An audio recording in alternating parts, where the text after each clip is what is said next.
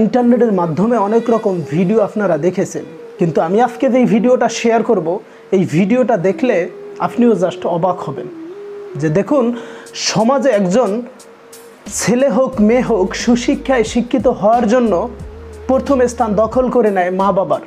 যখন মা বাবা ভালো হয় এবং ছেলে মেয়েকে ভালোভাবে সুশিক্ষায় শিক্ষিত করার চেষ্টা করে তখন সেই ছেলে মেয়ে সুশিক্ষায় শিক্ষিত হয়ে সমাজে ভালো মানুষ হয়ে ফিরে আসে এবং দ্বিতীয় স্থান দখল করে নিয়েছে শিক্ষক এবং শিক্ষিকা।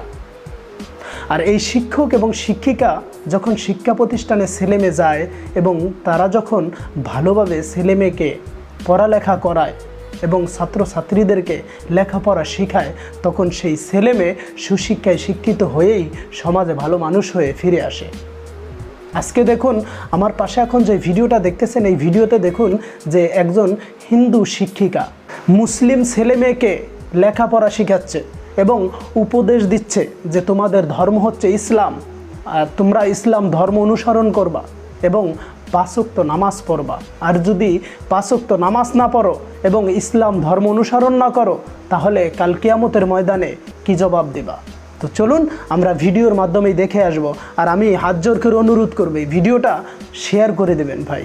আপনাদের জীবনে আপনারা ইন্টারনেটের মাধ্যমে অনেক রকম ভিডিও শেয়ার করছেন। আজকে এই শিক্ষণীয়মূলক ভিডিওটা শেয়ার করবেন, আমি আপনাদের কাছে অনুরোধ রইল। তো চলুন ভিডিওটা দেখি, মনোযোগ সহকারে দেখবেন ভিডিওটা। দেখুন।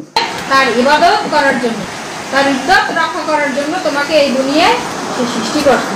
এই দুনিয়ায় আরও অনেক জীব সৃষ্টি করছে তাদের বুদ্ধি বিবেক বিবেচনা তোমার থেকে ভিন্ন।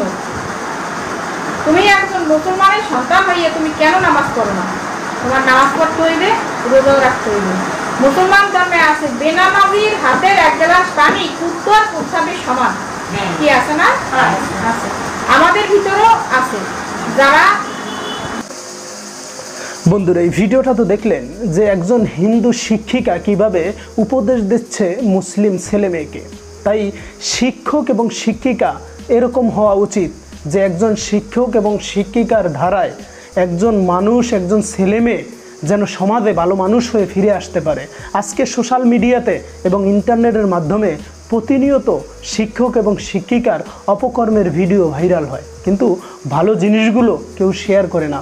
আজকে দেখুন যে একজন হিন্দু শিক্ষিকা মুসলিম ছেলেমেয়েকে কীভাবে পরামর্শ এবং কীভাবে উপদেশ দিচ্ছে যে তোমরা নামাজ পড়ো।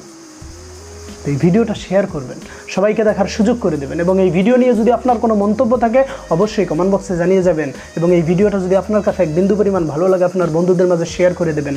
এবং আপনি যদি আমার এই চ্যানেলে নতুন যুক্ত হয়ে থাকেন পিটিভি বিডি ইউটিউব চ্যানেলটি সাবস্ক্রাইব করে পাশে বেল ঘন্টাটি অন করে রাখবেন প্রতিদিন প্রতিবাদী ভিডিও দেখার জন্য।